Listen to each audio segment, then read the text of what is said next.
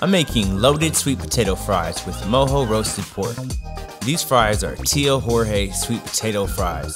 They are 100% natural, no preservatives, gluten free with a 100% yield. A long shelf life and available all year round. Just ask for Tio Jorge brand.